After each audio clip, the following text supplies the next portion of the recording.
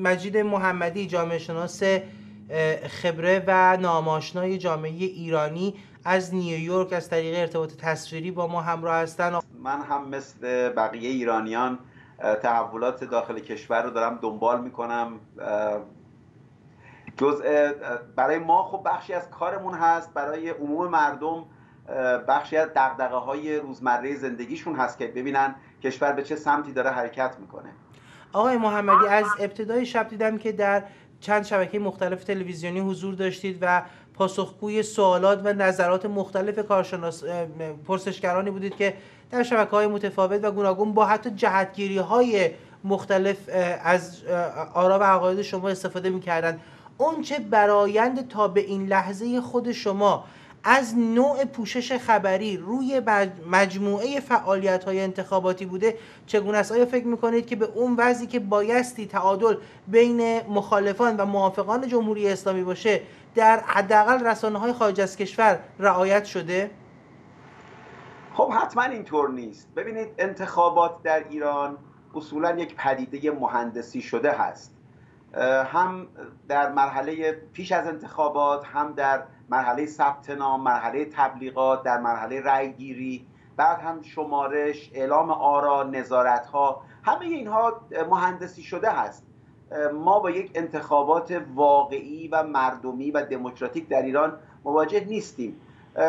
دولت در ایران قدرت اصلی رو در اختیار داره. و با همین قدرت قدرت تبلیغاتی قدرت مالی قدرت سیاسی از همه ابزارهاش استفاده می‌کنه برای اینکه چنین نمایشی رو به عرصه عالم خارج بیاره. خب طبعا چنین دولتی در عرصه خارج هم فعال هست. اینطور نیست که عرصه خارجی رو هم وا بگذاره. هم رسانه های خاص خودش رو داره هم نزدیکانی رو داره هم هوادارانی رو داره هم گروه های همجهت هستن. من نمیگم همه این کسانی که در انتخابات دارن تبلیغ می‌کردن در طی چند هفته اخیر که مردم رو به مشارکت دعوت می‌کردن. همه اینها از جمهوری اسلامی حقوق می‌گیرن یا اینکه برای جمهوری اسلامی کار می‌کنن. خب واقعش این که اینطور نیست. بسیاری از اینها دقدقه های متفاوتی دارن. ببینید هم کسانی که در خارج کشور در چند هفته گذشته خواستار مشارکت شدن و هم امروز کسانی که در داخل کشور آمدن و به حوزه های رأیگیری اومدن گفته میشه بین مثلا 60 تا 7 درصد 70 درصد در انتخابات شرکت کردن. من دقدقه های اونها رو واقعا درک می‌کنم. جامعه ایران اگر بخوایم یک نگاه عمومی به جامعه ایران بیاندازیم جامعه ایران رو به فروپاشی هست. در همین مناظره ها خیلی خوب می‌شد دید که اصولا بحثی از آسیب های اجتماعی نبود. ترک تحصیل کرده ها تعداد معتادان تعداد کارتون خواب ها اینا مرتب در کشور در حال افزایش هست. مسئله جرائم انواع و اقسام مسائلی که جامعه ایران داره در طی دو دهه گذشته اینها مرتبا رو به افزایش بوده. از اینها اصولا بحثی در این انتخابات نشده. در سیاست خارجی اصولا بحثی نشده. در سیاست های فرهنگی اصولا این نامزدها قرار نبوده که خیلی وارد بشن. عمدش مسائل اقتصادی بوده. در مسائل اقتصادی هم اگر شما نگاه بکنید روند جامعه روند رو به خرابی و روند رو به فرسایش هست. جامعه ایران به نظر من داره رو به فروپاشی میره. شما در کمتر جامعه ای می‌بینید با منابعی که ایران داره که دو سومش زیر خط فقر زندگی کنن. شش میلیون به قول, به قول کسانی که در این انتخابات نامزد بودن. اونها می‌گفتن 6 میلیون دولت میگه 3.5 میلیون ولی 6 میلیون در ایران که آماده کار هستن بیکار هستن. 50 درصد از مردم ایران نانخور دولت هستند شما اگر اضافه کنید کارمندان و بازنشستگان و گروههایی که از دولت حقوق می‌گیرن این جامعه جامعه وضعیت عادی نداره. این جامعه رو به تخریب هست. در سیاست خارجی هم همه رفتارهایی که جمهوری اسلامی داره انجام میده همش برای این هست که تنش اضافه کنه جلوی سرمایه‌گذاری خارجی رو بگیره. با عنوان اینکه ما می‌خوایم روی پای خودمون بیستیم با عنوان اینکه می‌خوایم جبهه مقاومت درست کنیم بخش قابل توجهی از منابع کشور یا اطلاف میشه یا تاراج میشه یا در کشورهای خارجی داره صرف میشه. خب در این شرایط گروههایی احساس نگرانی می‌کنن. خیلی طبیعی هم هست. یعنی تمام کسانی که وضعیت ایران رو نگاه می‌کنن طبعا می‌توانند نگران بشن. در برابر این نگرانی خب دو نوع واکنش وجود داره. یک نوع واکنش این هست که این حکومت اصلاح ناپذیره. این حکومت داره جامعه رو به سمت فروپاشی می‌بره. باید از شر این حکومت خلاص شد. نگاه دیگری هم هست. میگه که در همین شرایطی که هست بیایید و ما به جای اینکه به یک قاضی جلاد رأی بدیم به کسی که شرایط رو برای ما از این که هست بدتر خواهد کرد به وضعیت موجود رأی بدیم. آقای روحانی نماینده وضعیت موجود بود که نه وضعیت موجود وضعیتی است که داره رو به فروپاشی میره. من درک می‌کنم کسانی که در این انتخابات شرکت کردن دغدغه‌هایی داشتن از اون طرف هم کسانی که انتخابات رو تحریم کردن چه در داخل و چه در خارج اونها هم دغدغه های کاملا به جایی دارن علتش هم این هست که شرایط ایران یک شرایط غیر عادی و بحرانی است. بسیار ممنونم آقای محمدی عزیزم. اما سوال دیگری که برای من مطرح هست همین میزان مشارکتی است که اعلام شد.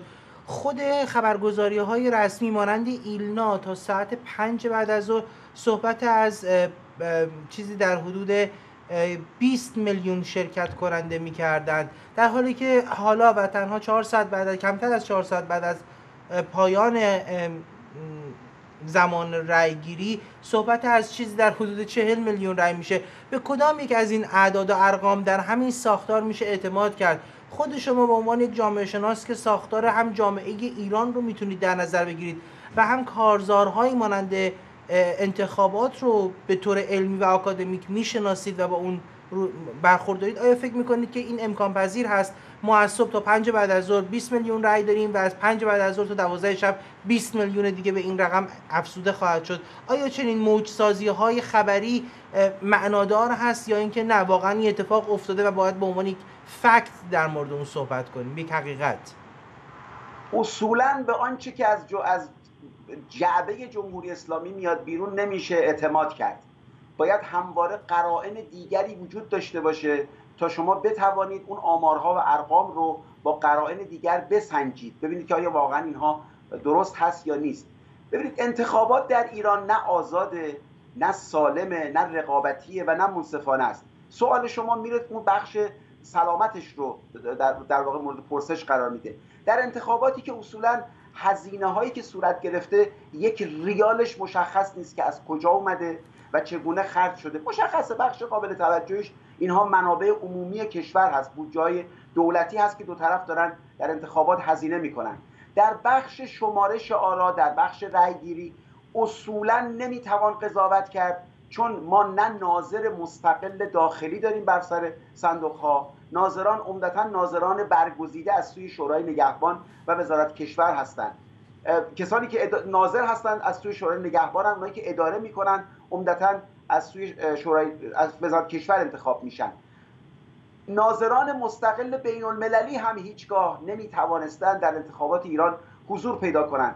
از همین جهت این آمار و ارقامی که داده میشه اینا هیچ کدوم قابل اعتماد نیست مگر اینکه با قرائن دیگری ما اینها رو بسنجیم. ببینید در یکی از انتخابات خبرگان در زمانی که من در ایران بودم برای من همیشه سوال بود که این آمار چون خبرگان انتخاباتی نیست که مردم چندان برانگیخته بشن احساساتشون برانگیخته بشه بخوان در انتخابات شرکت کنن. خود من از صبح تا شب یک روز رو به حوزه های مختلف رأیگیری سر زدم در سطح تهران. برای اینکه داشتم یک کار میدانی انجام میدم ببینم که واقعا مشاهدات هم تایید می‌کنه این ارقام و اطلاعاتی که اینها میدن یا نه. روز بعد اعلام کردن که دو میلیون نفر در انتخابات خبرگان شرکت کردن. که خب دروغ مسجل هست. کسی که از نزدیک وقایع رو می‌تونه دنبال کنه کاملا می‌تونه ببینه این داستان رو. در وزارت کشور معمولا جناهایی که هستن اونجایی که منافع مشترک دارن که یکیش اعلام رأی بالا هست معمولا در اون زمینه اینها می‌توانند با هم توافق کنند و رأی بالایی رو مثلا در مورد خبرگان چون فکر می‌کنن که خبرگان جزء نهادهای بنیادین هست و بعد قرار رهبر انتخاب کنه خب به جای اینکه مثلا 300 هزار نفر شرکت کردن این رو ده برابر می‌کنن به بیرون میدن هیچ اتفاقی هم نمیفته حتی کسانی که از حکومت جدا میشن بیرون میان از اینها اطلاع دارن شما مطمئن باشید هرگز در مورد این مسائل صحبت نمی‌کنن. چون منافعی دارن در نظام که نمی‌خواهند این منافع مخدوش بشه. ما نظامی رو که در شبان روز مبتنیست بر دروغگویی مبتنیست بر تقلب مبتنیست بر فریب افکار عمومی طبعا به همونطور که به آمار اطلاعات مربوط به اشتغال و فقر و بیکاری و مسائل دیگرش نمیشه اعتماد کرد به آمار و اطلاعاتی که در مورد انتخابات هم اینا عرضه می‌کنن ما نمی‌توانیم اعتماد کنیم.